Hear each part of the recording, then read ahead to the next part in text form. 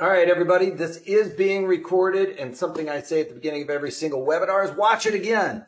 I'm not doing that just to tout this product. It's actually because uh, I started out in college with a psychology degree, and one of the things that we learned there was that if you review the material relatively soon afterwards, some of those nuances will actually sink into your long-term memory. Also, you know, I tried to build these uh, webinars out so that uh, you know, there's different nuances that uh, I try to teach so that you can remember them. You know, uh, one of the things was, you know, we have the Greeks, and sometimes when you're trading options, all the Greeks seem a little bit scary. Uh, what do they really mean? And I try and have little things to uh, help you remember that, like theta. What is theta? Well, it's the thief in the night that comes and steals your premium. So um, those are kind of what we're going to be looking for actually in the short iron condor. We want theta to come in and steal our premium because we're going to be collecting a credit for uh, this strategy. Therefore, we are going to want to be able to have this price go from a higher level to a lower level, right? If you sell high, then you want to be able to buy that low, and theta will be one of the components that we're going to be looking to exploit in this strategy. And I'll show you uh, what the best duration is in order to achieve that for this strategy anyway. All right, so this is going to be on the short iron condor. It is one of my favorites, especially for a market neutral strategy, or if you just have no idea where this is going to go and you want to have that defined risk in case uh, this start uh, market starts to move uh, in any direction quickly. So we'll be able to manage some of the risk with it being defined. And the beauty in an iron condor is it is adjustable. So throughout the life of this trade, if things start going a little bit awry, you can be a little bit more aggressive and mechanical in order to limit some of the losses that might be incurred if you are directionally wrong. All right, so let me get a couple of things out of the way real quick, though. My name's Eric Wilkinson. I know there's a lot of new faces out there. Uh, you may recognize me as the Wolfman from mainstream media, where I've talked about everything from economic to geopolitical, and on top of that, my market analysis. And I actually started trading my own money, like I mentioned in college, uh, as a psychology degree or with a psych- psychology degree. Decided to switch it over to finance. Graduated from finance uh, uh with a finance degree, I should say. Moved to Chicago and started working on the floor of the Chicago Board of Trade. I actually started out as a runner, moved up into the pits, and continued trading uh, throughout that time and to this point in time. So I've been doing it for a little over 25 years now. I've traded everything from stocks, financial futures, currencies, uh, and options on all these products in just about all market conditions. Actually, this market condition could be one of the craziest market conditions I've ever traded in. So if you're trading through it, then uh, you guys probably have uh, been through the ringers as well. Uh, Zachary said he's seen me on CNBC with Rick. Okay, old school. Um, all right, so basically, we got to go over this disclaimer, and it says that we are not here to give investment advice. I don't know your risk parameters. I don't know what's in your portfolio, you guys. So I don't give investment advice. I don't try to say, hey, this stock is something that you guys should be putting into your portfolio. You might have a very different um, viewpoint on that underlying. So, um, what I might be doing might be counterintuitive to what you're doing. And remember, past performance of any trading system or methodology is not necessarily indicative of future results. All right, if you're on Twitter, you can follow me personally at Wolfman's blog, or our parent company is at ProTrader Strat for hopefully all kinds of market wisdom. And Facebook, if you're on Facebook, follow us at ProTraderStrategies.com. Uh, one thing we do on Facebook a lot is pump out content. So we're throwing out my daily market commentaries, for example, and sometimes uh, every once in a while these webinars, webinars are, um, you know, well past, but usually some older webinars we'll throw on there. But the daily market commentaries are, you know, pretty pertinent to the time or the day. So I talk about all of my trades, when and where I do those trades, uh, so you can kind of follow along. And you know, the beauty in those is those are real life examples. They're what we go through on a daily basis when we're trading or we have a portfolio. If you have a portfolio or a 401k, an IRA, you know, you are constantly keeping an eye on that. Well, I talk about different ways to stay in uh, being mechanical in and around that type of portfolio. So whether it's covered calls or just regular trading strategies,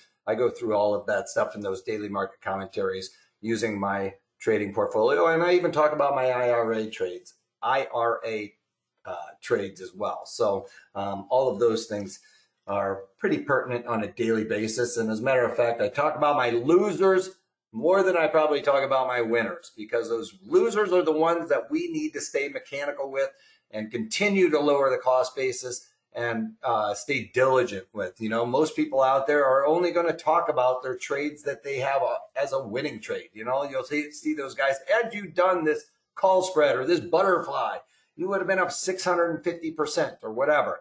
Well, you know, the fact of the matter is, is you don't see those guys really talking a whole lot about their losers. And those are the ones that we need to talk about because we learn from those, right? Um, so I'm not I'm not afraid to talk about the ones that I'm losing on at the time because I've been here for 25 years, you guys, and uh, it's been working out pretty good to stay mechanical with these things. All right, the short iron condor. This is a great one. Like I said, if you have a neutral market assumption, you think something's had a move and wants to settle down, this is a great strategy for that. And especially, you know, I see a lot of new faces out there or new names out there. This is a great strategy uh, to start learning uh, to trade options with because, like I said, it's limited risk.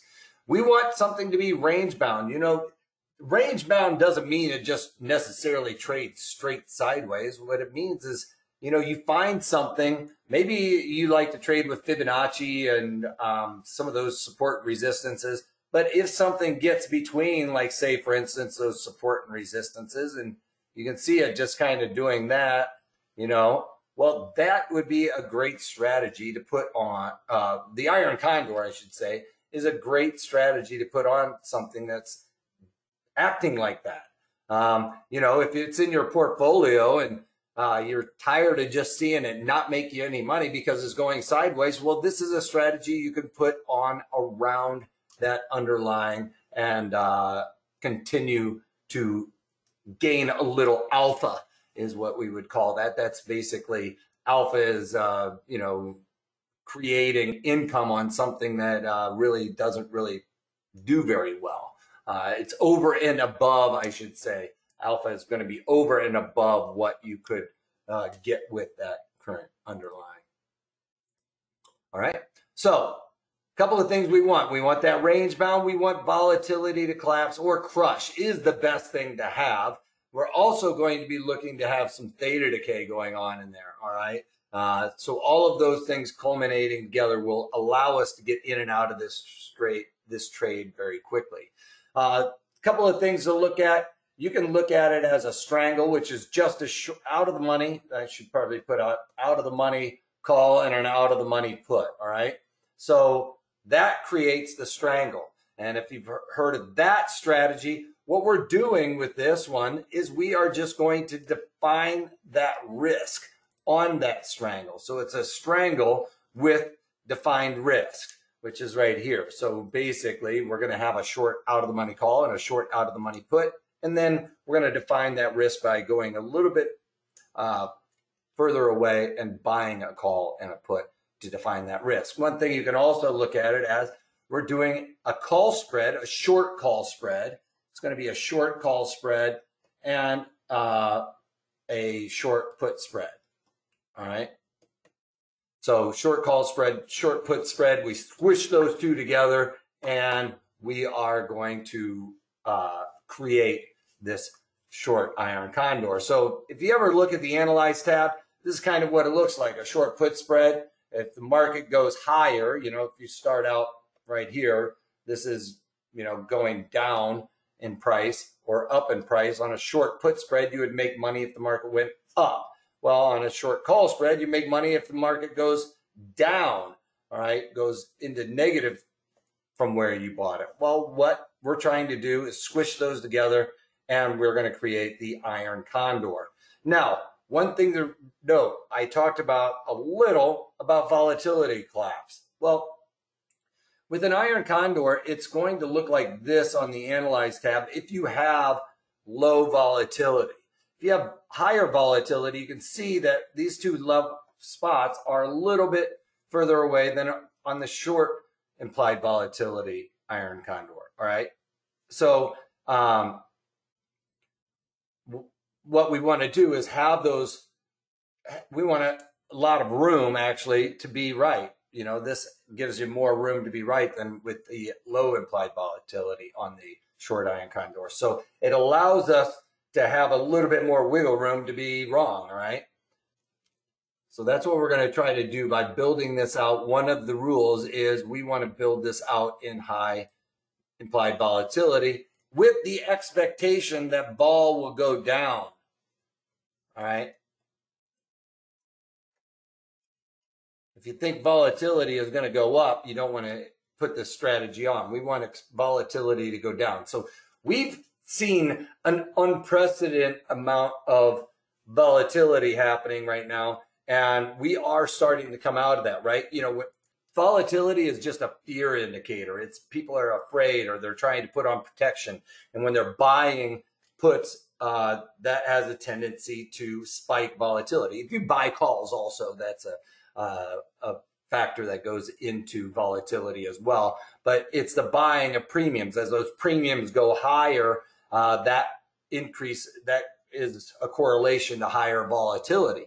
Well, the idea is when everybody is buying that, they have a tendency to get a little too aggressive. You know, when there's fear, they don't really care what they're paying for it. They just want that protection.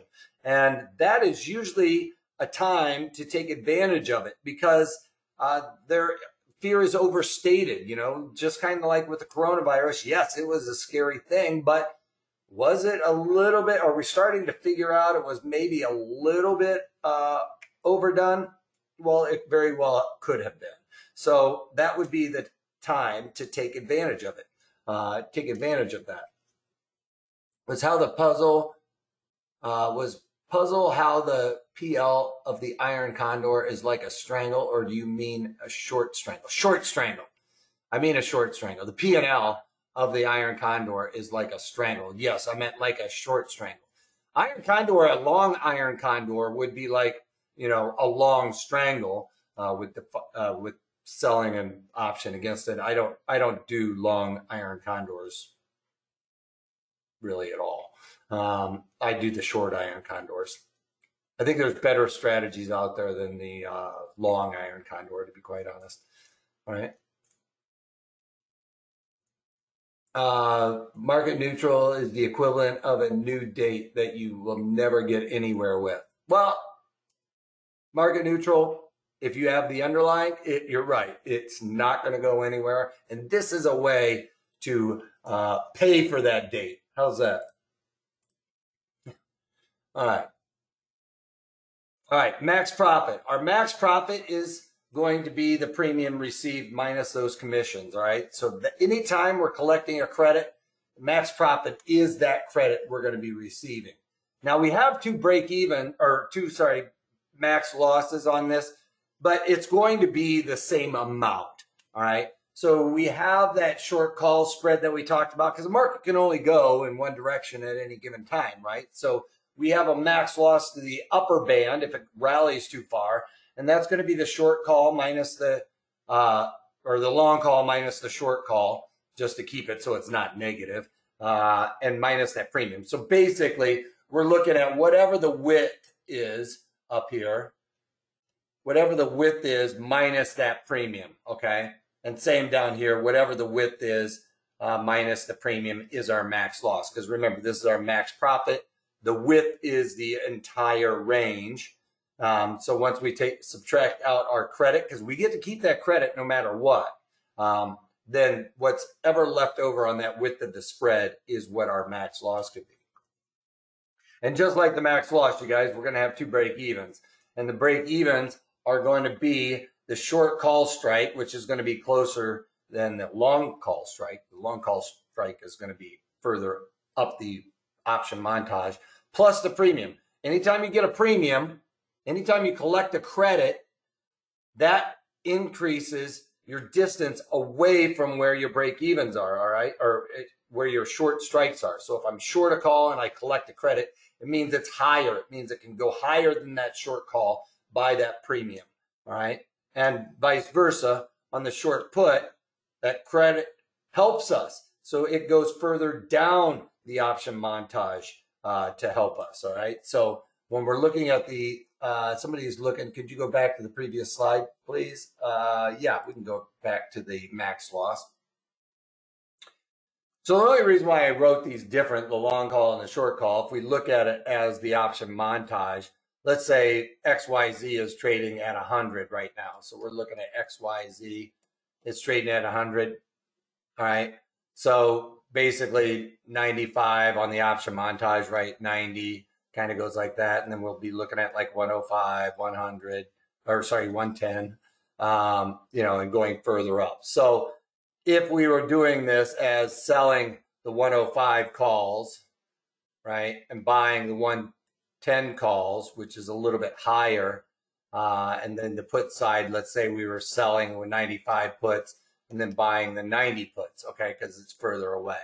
The reason why I wrote it as the long call, because when you say the long call minus, I wouldn't want to say this minus this, because then that gives us a negative number, really.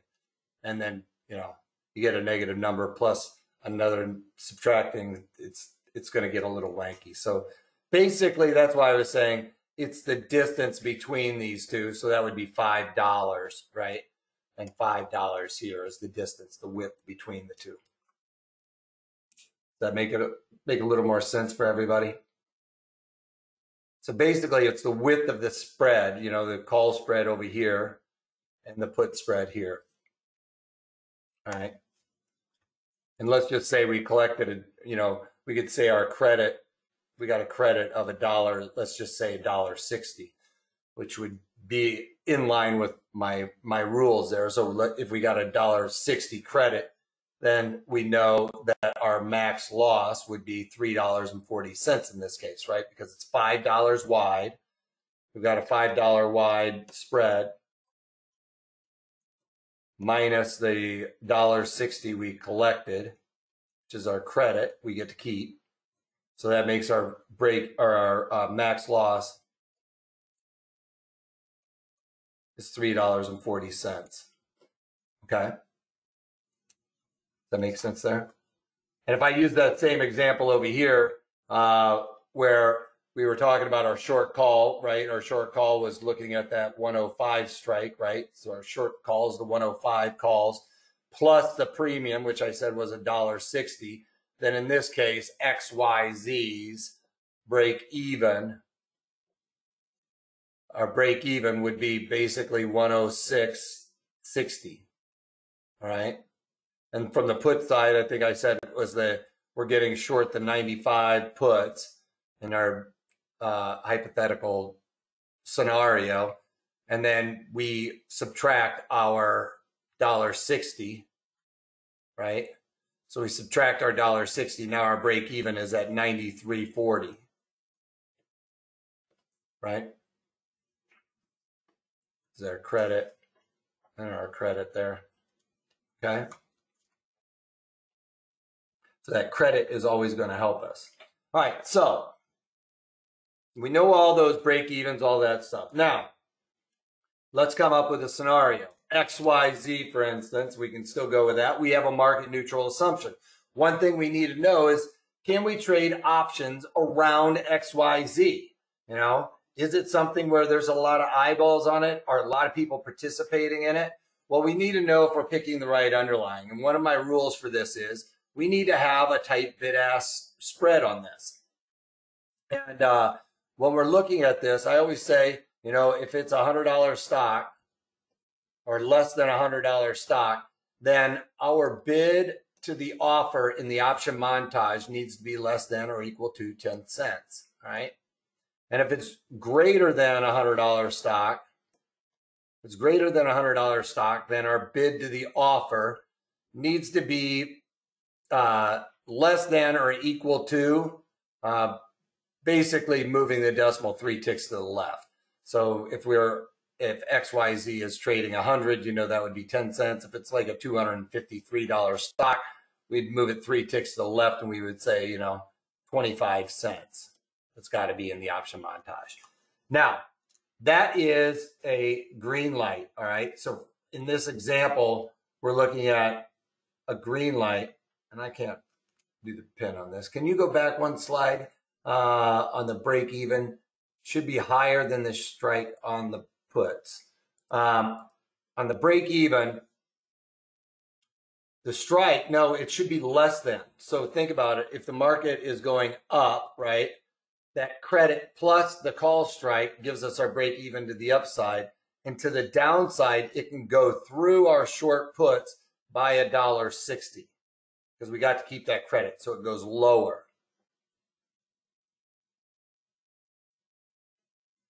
That make sense? I'll show you when we pull up the uh, option montage here and set or everything up in a second. So just for an example, let's just go over and uh, try and find the, I don't know what happened there.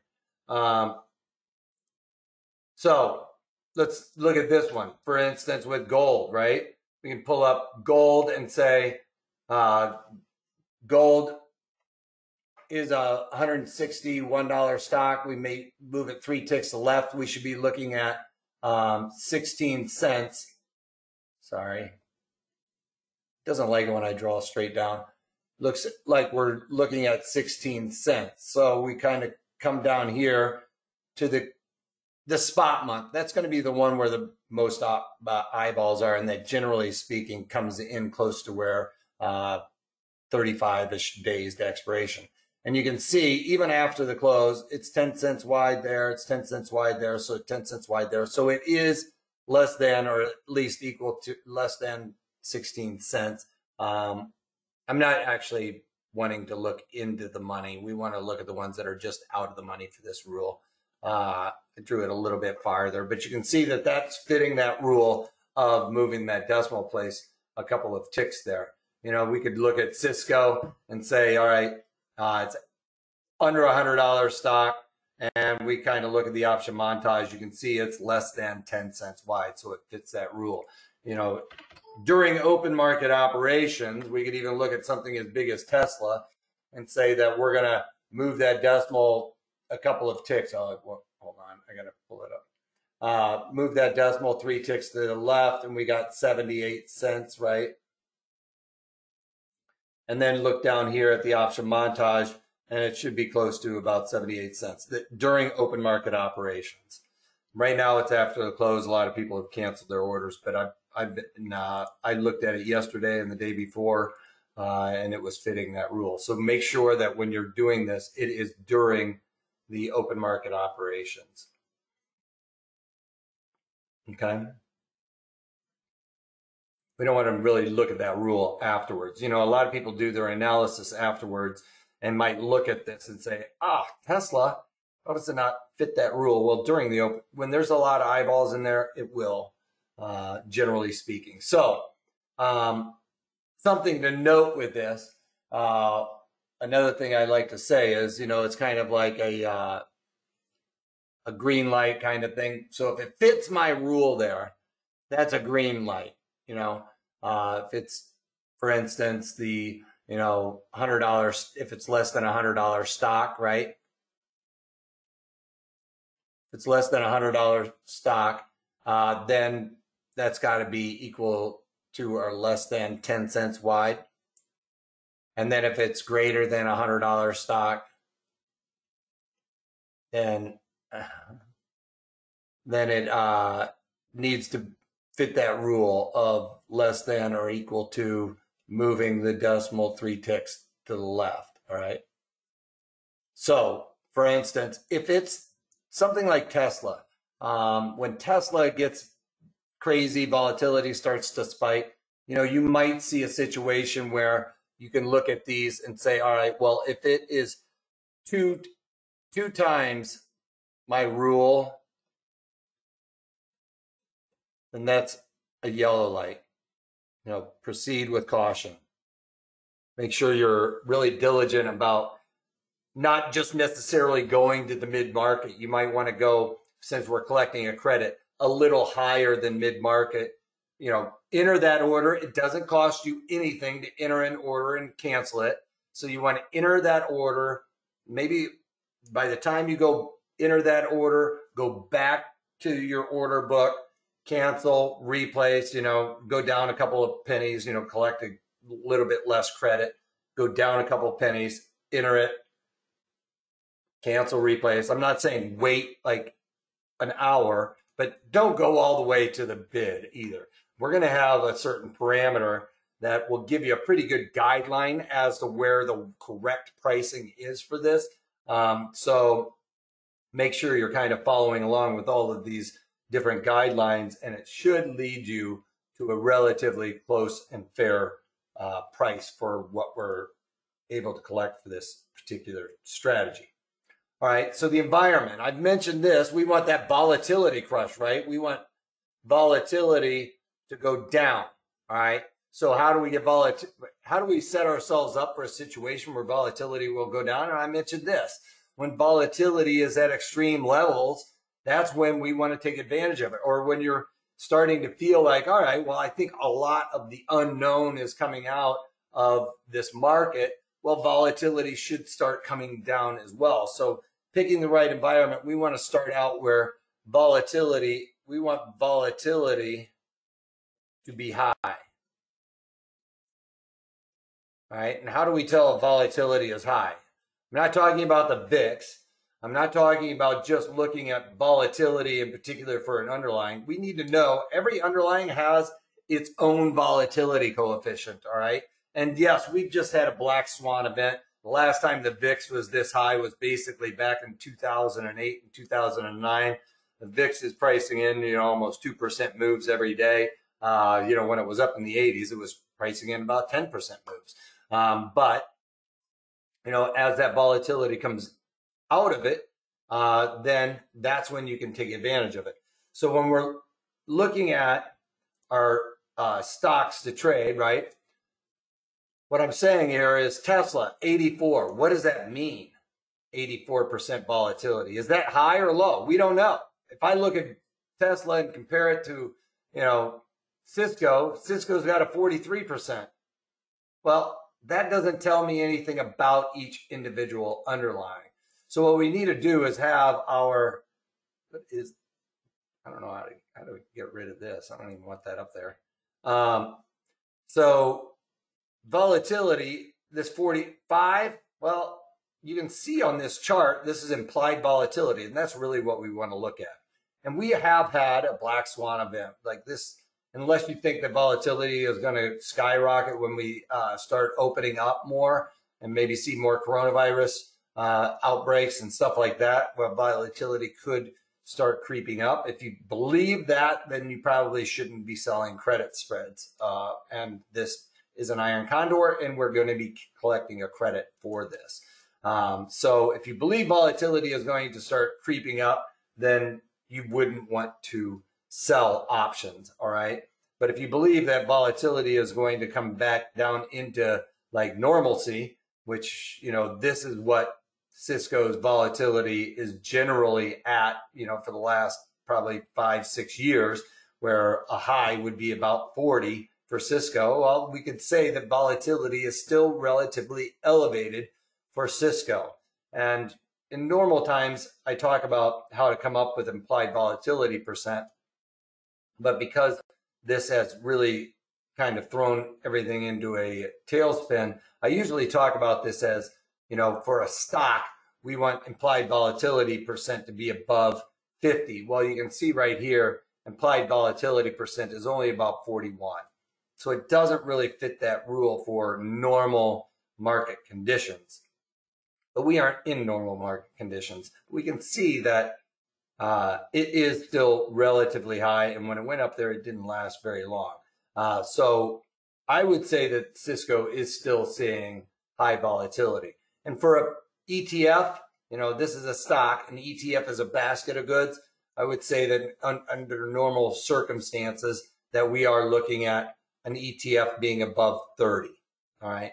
So those would be considered high. uh, implied volatility percent of a stock above 50, implied volatility percent of an ETF above 30 is considered high.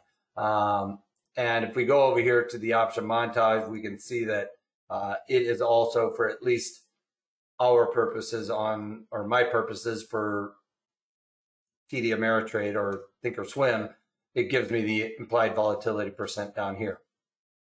All that is, is it's where it currently is. We have a numerator and a denominator where it currently is minus the low, and then you divide that sum by the high minus the low. All right, and that will give you the implied volatility percent. All right. So if you believe it's going to, you know, this is the new normal, then we need to at least take that into account. I don't think that this is the new normal.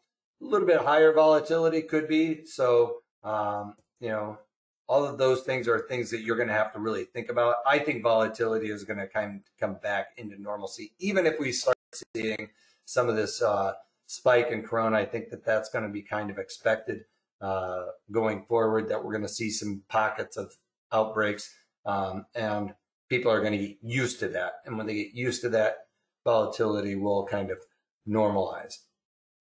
So, uh, not that I'm bearish or market neutral on Cisco. Uh, I I can make a I can make an assumption for any of those. All right. So we want to pick the right duration. Right. Here we're looking for picking the right underlying. That's my rule for the price, right? On the option montage, the environment. We want high implied volatility. The duration. So this is, you know, in a sense, this is Vega. Oops. Let me go back one. This is vega. So environment's vega or volatility, which is equal to volatility or implied volatility, which is really what we're looking for.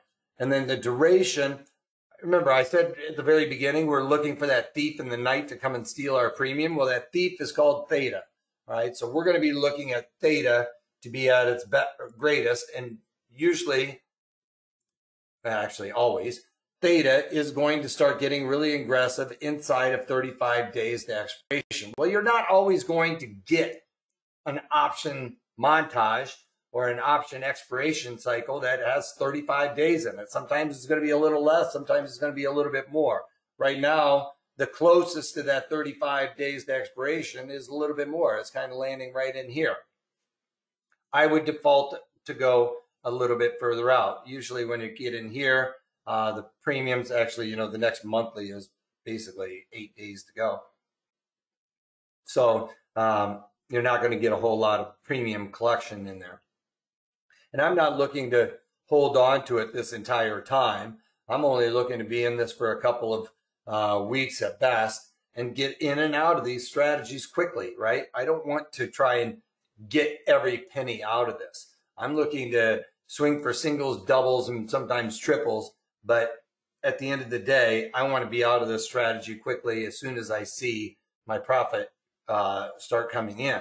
So we want to take advantage of this theta decay uh, speeding up. You know, the thief is uh, not very aggressive out here, but once he gets inside of here, sees he only has a little bit time left, he starts really picking away at your credits, and that's what we want. Uh, so that we can buy it back for less. All right. Another thing to think about this as if this is the price, this line is the price of what your premiums are and how they start really decreasing. Well, something that happens with volatility, if volatility starts coming into the market, volatility kind of pushes up on this curve and it kind of sends those premiums higher. So we get the theta coming out a little bit, but that volatility pushing up on it. And then when that volatility comes out, it catches up to the curve. So if we can get in when volatility is really getting pumped up, you can think about it as a balloon and blow into that balloon. It starts really expanding that balloon. Well, that's what volatility does. And then what happens when you let out the volatility? That balloon just flattens out, right? So we want to get in there when the volatility is expanded out and then uh, take advantage of all of that volatility coming out of that balloon when it, it happens. Uh, what is the vertical axis? Uh, this is this is the price. Uh, why am my pen working? Oh, because I have it on a. Uh, this is the basically option prices over here.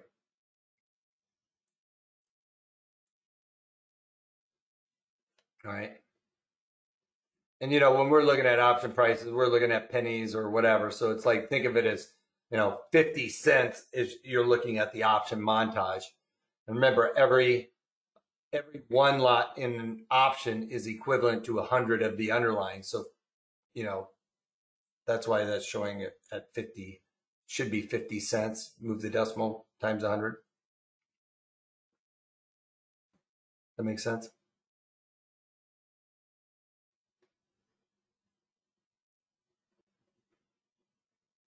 Okay. Something like that. Um, all right. So uh, here's another thing. I'll just pull this up while I'm thinking of it. Another thing we can look at here is get rid of that. Go over to the Cisco trade again. Um, and when we're talking about the theta, this is where I'm talking about right here, the thief theta. You can see that theta is always going to be negative. And that's because we can't, we aren't back to the future. We can't go back in time. Um, and therefore, it is always take, ticking away at the premium. So tomorrow, if nothing else happened in Cisco and it was trading exactly right here at 41.37, tomorrow three cents would come out of all of these premiums and two cents out of these premiums up here, vice versa, uh, the equivalent. Two cents out of this premium and one cent out of these premiums, all right? Um, and if I go further out in time, you'll see that uh, theta is much less right? So this is going out on that curve. You can see it's only one cent out here a day. So we want to take advantage of the higher theta decay. And you'll see it even uh, more so if we looked at something like Tesla, it'll be more apparent even, where uh, theta is about 84 cents here. And then we go way out in time, you can see that theta is almost half of that way out the curve, right? So we want that theta to tick away from us uh, at our premiums. So we want that 84 cents coming out every day, right? Because we're short premium. Okay. All right. So picking the right strikes. What we're going to do here is ultimately we want to collect. So this is where I was talking about. If you're in one of those yellow green light kind of things, we want to collect 25% on the minimum to about 33% the width of the strikes. All right. So when we were looking at that five dollar wide, remember I came up with the, you know, pulled it out of my hat, a dollar sixty. Well, that's because that's within that rule. Okay. Um, I thought I saw a couple questions coming up, but it looks like you guys are on it. Uh, so we want to collect 25 to 33% with the strike. So if we have a dollar wide, which is going to be something that's less than $50, this is a little bit harder to do on those really low flyer stocks, but uh, dollar wide uh, spread, right? We would need a credit of somewhere between 25 cents and 33 cents, right? That's, you know, a dollar. Um, and, you know, a $5 wide, it's going to be somewhere around a dollar 40 to a dollar sixty ish. I don't know if you guys can hear that going on. My dog's having a dream in the background. Um, and the easiest way to figure it out is like, you know, if you're looking at something that was a five dollar wide spread. Where's my? Oh, I saw it it's hidden. Oh, it's hidden underneath my. Uh, hold on, my. Where did you go? Somewhere it is hidden underneath one of my. Ah, come on, calculator. Why are you hiding on me? All right, I'll bring it over here. There. I had to move everything around on my other screen. it's going to be difficult. Everything's trying to fight me right now. I'm, I'm battling. All right. Where are you, calculator? There you are. All right. So, um, you know, dollar sixty in that one example of our five dollar wide. Remember X Y Z. So dollar sixty divided by five. Oops. So we got a dollar sixty divided by five dollars. You can see it's thirty-two percent with the strike. So that would be within that rule. And if it was something like, let's say it's a dollar forty-five divided by five dollars, it's twenty-nine percent. So you're going to look at it that way, all right? Um, so when you're building out this strategy, and it usually ends up being our short strikes, our short strikes, our short call and put are going to be about a 20 ish delta. 20 ish is not always exactly, but that's where we're going to start to build out this strategy. All right. So when we go in there and we're going to look at this, you know, you know, I know you can go online and find out how to do a short iron condor, but they are going to build it out like this, you guys. They're not going to give you strike locations to increase your probabilities of success. And this is the best bang for your buck. Yes, you can go further out. Uh, you know, you can go out to like a 10 delta short call and put. And yes, you are going to have a high probability of success with that strategy, but your risk versus your reward is not going to work out. Your reward is nothing versus the risk that you're going to be taking on. So uh, the 20-ish delta, it's a you know, you're collecting a third the width of the strikes. Your uh, your risk reward is the best. You know, if you go a little bit tighter, yes, you are going to collect more premium, and you can collect up to 50% the width of the strikes. All right. Um, but then you are going to be very close to uh, losing money easily is the way of the lack of a better way to put it. Um, this the beauty in this is where our short strike is. There's a lot of things that I talk about when we're collecting a credit is the the bell curve, and when we're talking about collecting, you know, uh, starting out at that 20-ish delta, it's going to be basically landing somewhere in here, all right? But when we collect that credit, it basically puts us at one standard deviation, all right? So with our break even, you know, our break even ends up being very close to a one standard deviation move, which is something I really like, is that one standard deviation uh, on either direction. So our break even anything above that would be the loss, or anything below uh, the break even to the put side would be a loss. But you know, we are looking at something where 68% of the time the market's going to land somewhere in there. All right. So our probabilities of success are very good. All right. Yes, our strike locations inside of that wheelhouse, but we have to look I look at anything like a break even as a win, you guys. If I can break even on something, that is going into the win camp. All right. If I don't lose money and I'm I'm break even, that's a win. All right. Because that's uh I didn't lose anything. Losing is where I look at it like I didn't win. Um, but break even, I didn't lose anything. It didn't hurt me to be in it. So uh, by collecting this credit, starting out about the 20-ish delta, it puts us at a one standard deviation move, which means that basically, you know, 16% of the time it'll land up here, 16% of the time it's going to land out here.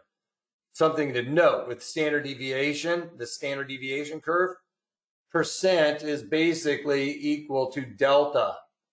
All right. That's one of the beauties with the standard deviation curve. So you can talk about it as delta. And that's why you'll hear a lot of option strategy guys go, um, you know, what do you think the probability of this happening is? And you'll say, I'd say it's about a 50 delta. I mean, it's about a 50 50 chance, 50% of the time. But the option guys always like to throw in delta because it's equal to percent, right? Something uh, that's at least floor trader guys used to do that all the time. You know? What are the chances that the, uh, I don't know, I, I, was, I always want to relate it to baseball or something like that, but or football, and it's not going to work out right now because I don't know who's there's nobody playing. What's the chances in this upcoming golf tournament that Phil beats Tiger? Well, that's about a 30 delta. All right. Knowing our exit strategy. All right. Basically, if you are at 25% decrease, you know, 25% decrease in that credit, right? In less than 15 days, I would say take it. All right. Usually I'm looking at somewhere about 50%. This is for higher risk tolerance um, in less than 29 days. That's kind of like what we're looking at. All right. So you get, you know, two or three days, which is probably not going to happen. You would have to really get volatility to happen almost immediately after you put on this trade. But if it if you can get 25% less in uh, less than 15 days, then jump on it. You know, if you're looking at that one where we were looking at 33 cents, you know, collection of credit, you're probably going to have to look at the 50% of max profit, all right, just to make it worth your while, all right? But if it's something like Tesla and, you know, you're collecting a nice big premium for it, then I would be looking closer to the 25%, all right? Uh, the 20 delta is the short leg on the call side and the put side. That is correct. So here, let's look at a couple of quick examples. So on something like what we were looking at is, okay, so ConocoPhillips. Now, if you thought that ConocoPhillips, and I did this during open market operations because I was I was worried that the markets were going to get really wide. They have a tendency to get really wide right now um, after the closes. But you can see with ConocoPhillips, I got short the 49 calls, which is uh, this strike right here. It's about that 29-ish delta, right? Well, and then I bought the 50 calls. All right, so the 50 calls is where I define that risk. It's a dollar wide collecting 32 cents. So this puts it very close to, uh, you know, that uh, it's not going to work out on this one, but you can see that obviously uh, my break even is at 49.32 because I get to keep that credit um, and very close to the one standard deviation move. Uh, if we go to the put side, you can see I used the 34s as the short um, on this one and the 33s as the long. So I, you know, it's a little bit better than that 16-ish delta. Obviously, I kind of skewed this one a little bit, um, which you can do. Uh, it doesn't always have to be exactly equal distance away although these are pretty pretty close to being equal distance away. But I, I'm a little bit more, say, nervous to the downside. 16 delta is one standard deviation, correct? Yes. 16 delta is one standard deviation away. Because basically, if we look at this strategy, if we base up, if you add up between one standard deviation and two standard deviations, 13.6, uh, the 2.1, the point one, plus you got, remember you got a negative four uh, uh, standard deviation. So all of those ends up being very close to a 16 delta. All right.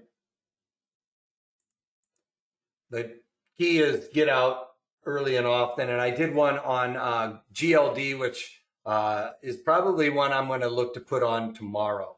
All right, so let's just uh, see if we can get GLD to pull up for us. Um, and as you can see, $5 wide, collecting a dollar 56 that fits my rule.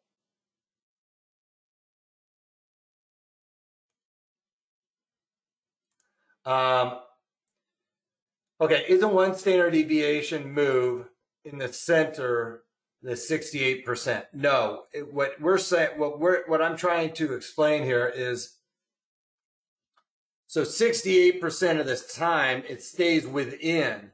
If you go outside or right to here is the one standard deviation move. So if you start out at zero, which means XYZ is trading 100, right? When we got into the strategy, we would be looking at these being, uh, you know, it's going to be further away. But in my example, so this would be the 95s, the puts, right? Um, and this would be the 105s, which, you know, isn't a very great example. I'd probably want it to be further away than that, but just as the example. So the 95 puts are that way. So basically, when you start out at zero, standard deviation says basically it's going to stay within one standard deviation move uh, 68% of the time. 16% of the time, it's going to go outside of one standard deviation move. 2% of the, or uh, 2 2.1% of the time, it's uh, going to go outside of two standard deviation. All right. Does that make sense? A probability curve for uh, time of expiration, the probability of kissing is different. Yes. Good, good point, Wally. And I almost forgot to mention that. So it's a floor trader hack for you guys. So let's look at um, uh, this GLD trade. so what Wally's talking about here is one thing we're talking about with delta. Delta tells us the probability of XYZ, and if we looked at this strategy, let me pull this up again. So I'm going to look at about the 20-ish delta. I'm going to sell those, and I'm going to look at about $5 higher. So uh, usually on about $150 stock, it's about $5 wide. I just know that as uh, kind of a given, just start out at. Um, so I'm going to buy those. Uh, that wasn't a very good credit. Um, so I'm probably going to have to go a little bit tighter than that. 74. I'll probably have to go to the example I had before. So five dollars higher, um, 65 cents. That's about right. I'm just doing the math in my head. 65 and 65 is going to give me about a dollar 20, dollar 30. So I'm going to look at the 20-ish delta here, um, just to see if I can get her done and go five dollars lower, which puts me at the uh, 40, uh, 46 strike. Buy those. Oh, why didn't I do that? Am I not holding down control? So the 20 inch delta, 51s, 46s, that's $5 wide. Go up here to the, uh, what was I looking at? The 73s, 73s, and then $5 higher is going to be the 78s. So $1.39. It's changed a little bit since the last one I had. So $1.39, now we have to look at this and say that's pretty low. $1.39 divided by 5, see if it gets inside of that 25%. And it, and it works. It's inside that 25%. So we could do this one. Um, so one of the things that Wally mentioned was we look at these strikes here so the short, the 73s and the short 51s, let's look at, all right? So those are the ones we're looking at. And what we're looking at is the delta, right? So the 73s are lined up right here. And that's the ones we're short. And the 51s is the one we're short here. Okay.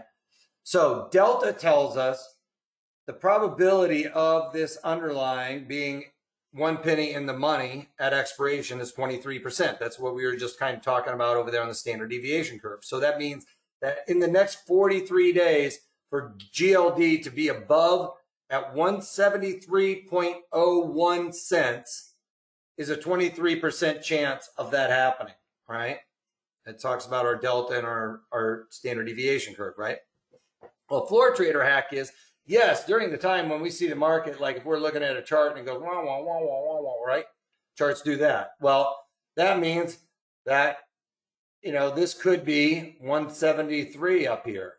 And this could be our 151 here or something like that, right? So the chances of, or down here anyway. So the chances of the market coming up and hitting our 173 is two times the delta. So two times delta is our probability of getting kissed. All right. So that means the market can come up and hit us. You know, now it's uh, 46% of the time. So 46% of the time during the next 43 days, yes, that 173 might get tested, uh, or the 151s might get tested 40% of the time, right? So 40% of the time it'll come down there and hit it. So it's a good chance that you're going to get tested or get kissed on these as the market comes up and hits that 173. All right. But that's just, you know, those that just kind of allows you to keep your powder dry, you guys. You know, things I talk about is the probabilities of things happening. And when you know the probability, when you know the facts, you're a lot, it's just like volatility. When you don't know what's going to happen, that volatility spikes, that fear uh, spikes and makes you do irrational things like go out and buy calls and you don't even care what you're paying for them or buy puts because you're afraid of the downside. You don't care. I don't care. I just want to buy them. All right. That's what people do. And that's because it's of the unknown. They don't understand what's happening. So when you do understand what's happening, which I what that's one of the things I try to do and teach is make sure you guys understand uh, what we're getting ourselves into, right? And the probability of us getting kissed on the 140 173s to the upside or the 151s is about 40%, right? Great. Now I know. If it happens, you're like, I still got a 60% chance this is going to work out. All right. Um, so knowing those things will help you.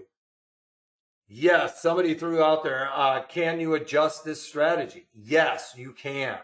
Uh, one thing I talk about is when your break even is being tested, if you're worried about it not coming back and you want to be a little more aggressive, if, for instance, the market rallied up to this 150 or 173 level or was trading 174, 175, you can move because this put spread down here now is almost worthless, right?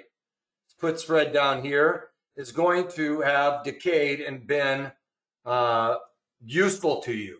All that collection, because of the market moving away from you, has gone to relatively zero. You can move that entire put spread up to the 173 level. You create basically an iron condor. It's going to be a tight iron condor. And, uh, you know, especially if it's closer to expiration, maybe there's only 10, 15 days left expiration, and all of a sudden this goes to garbage or hell in a handbasket, or whatever you want to say. Well, then you can be a little bit more aggressive and say, all right, well, the probabilities are beating me on this. I need to collect a little bit more credit. And you can move that whole put spread all the way up here. So now it's going to be like the 173 uh, minus the $5 is going to be 173, 168. All right. So it becomes an iron condor, which was what we did last week, right? We talked about the iron condor. This is going to be a lot tighter iron condor uh, because we're just being um, mechanical. But you'll be able to collect, you know, another dollar something for that credit. So now it'll be like risk one to make one, um, and it won't be like risk one uh, or uh, risk two to make one kind of thing. All right, so you'll be able to collect another credit, uh, increase your break evens a little bit, you know, and and hopefully if it comes back, then nails you right there on 173 at expiration. You get to collect all of that money. All right. So that's a way to be a little bit more aggressive. If it rallies up too far and it hits your break even, uh, I usually just I usually play out the probabilities, you guys. I'm willing to take the entire loss uh, if it doesn't work out. I'm going to play let the probabilities play out. Um, every once in a while, though, you know, my if it's very close to expiration and all of a sudden this kind of goes goes to garbage, then I'll be a little bit more aggressive. I will move that put spread if it's rallied too far, or vice versa. If it's sold off, move that call spread down. Okay. Yeah, 173, 168. Are you saying that the legs on the call side can be changed? Uh, 175, 160. Uh, I'm saying, um, let's say, for instance, let's just go over here and uh, right now we have this strategy on, right? So we're looking over here at the charts and the market moves. I'll just do a vice versa example. Market moves down here. Uh, you know, we put the strategy on tomorrow and, um, you know, this market kind of kind of trickles down. Now we're very close to expiration, right? And all of a sudden it starts dropping a little bit. Well, this call spread up there, we had a call spread that's way up here, right? We're short a call spread way up there and we're long this put spread. Or short, sorry, we're short this put spread right down here. Well, this put spread is getting tested. So what we can do is offset this by buying, buy, buy this call spread, and then sell a call spread down here, a little bit closer, right? Sometimes you'll make it an iron condor. It's a really tight iron condor, which would be a better case scenario. But, you know, if it moved too fast or whatever, you could basically move that call spread down uh, to where your put spread is. And that creates the iron butterfly. Because remember, iron butterfly or short strikes are the same. All right. I wouldn't necessarily invert this though. Don't go too far. I would go to where the puts are in this case, or you know, match up the short put and the short call. Okay, so in this case, then when we're looking over here, uh, in a sense, what we would do is, right, if that market went down and now all of this area was gray, like the market had gone all the way down to, let's say, 150, uh, 149 or something like that. You're really nervous about it. So what you would do is you would basically roll the call spread down. So you're going to go in and you're going to sell out of the the 178s and you're going to buy back the 173s because that's worthless. You're going to basically buy that call spread. You're going to buy that call spread back for, you know, maybe a dime or, you know, 25 cents. And then you're going to go down and you're going to sell you know, they're not you're not going to get this much premium for it because the market's gone down. But then you would sell the 151s and then buy the the 156s, right? So see how that creates the. I, I must have done that wrong. What did I do wrong? I wanted to sell. Sell. All right, whatever. thinkorswim, Let me do this. Um, you need to sell the 153s. Not let me do that for some reason. Why won't let me do that? So we'll sell the 151s in the calls. And I wouldn't do it this big anyway, but just, oh, and I did it backwards. We're going to be wanting to buy the 156s. All right. So that creates that iron butterfly. Short the calls, short the puts, long the calls, long the puts. right? and you'd be able to collect another credit for it. Not going to be that much of a credit, but you, you get my gist. Cool. We clear? All right, cool. All right, so I don't usually talk about the adjusting. I actually have a whole webinar on where I've actually done that in real time too, but uh, that is something since somebody was asking to go over. All right, so this is our uh, strategy or our course that we're giving away for forty four hundred ninety seven dollars. You guys take advantage of it. You know, like I said, you can go out there and figure out how to do an iron condor online. They're going to tell you to sell a short call spread, a short put spread, but they aren't going to give you strike locations. They're not going to give you the reasons why.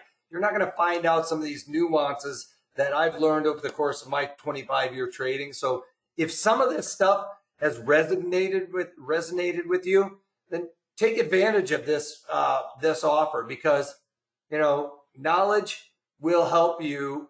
I mean, I've spent more in uh, courses like this. We have to educate ourselves to get become better traders.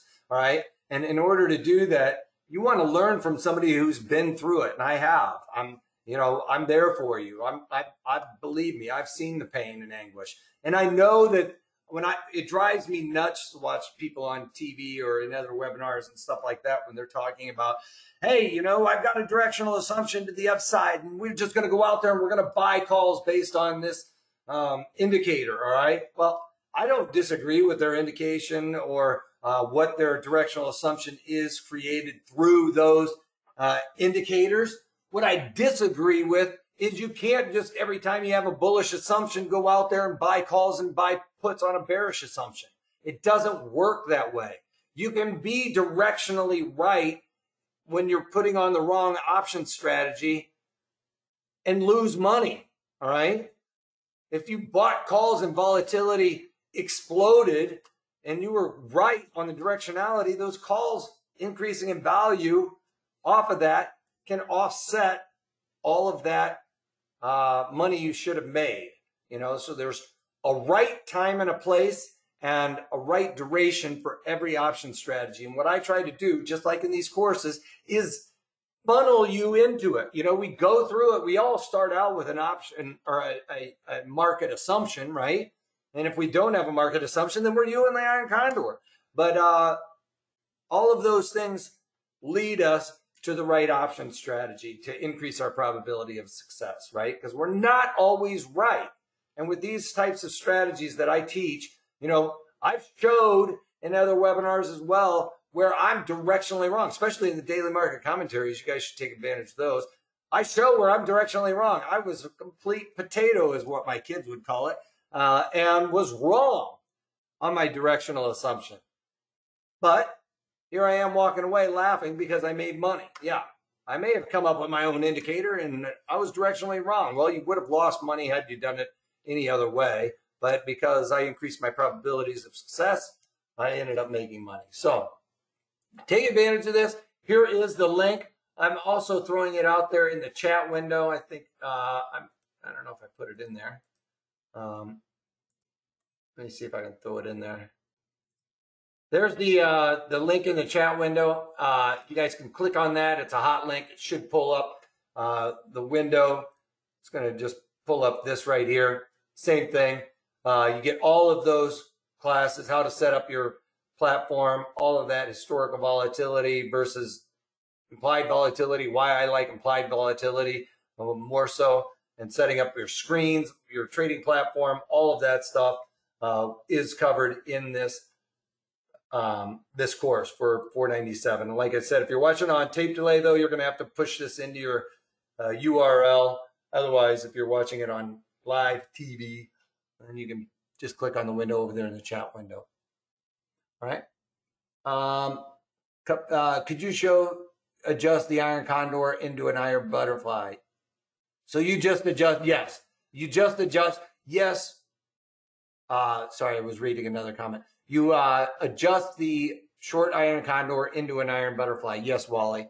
Sometimes you can actually do it where you keep it as an iron Condor, in our case, we were looking at it just moving it to the 151 puts, right? We moved it so the short call and the short put were the same.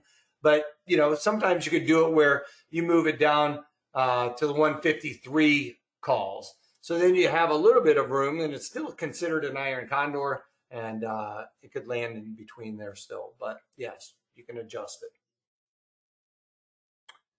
Uh, could you put the slide of the chart where you showed the price going down? Um, you know what? I don't know if I can because uh, with this, when I use this, it erases it. Actually, you know what? I might be able to. I just thought of something. Was it on when we were talking about with this?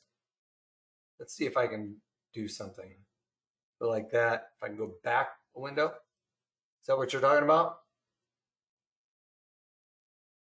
So yeah, so when we were talking about this on the chart, my 173 calls are way up here. It's above where the market was trading, which is why I like this trade. I think we're going to stay within this little area here. Uh, we might go a little bit higher, but I think I personally, it's not a trade recommendation, but I'm just looking at it thinking I think gold's going to trend sideways. Uh, but if I'm wrong and it starts trickling down, then you know the beauty in this strategy is I can buy back that call spread, get a little bit more aggressive, move my call spread down here or whatever, whatever I'm thinking. Um, and if it started rallying up, then I'd get out of the put spread and move it higher.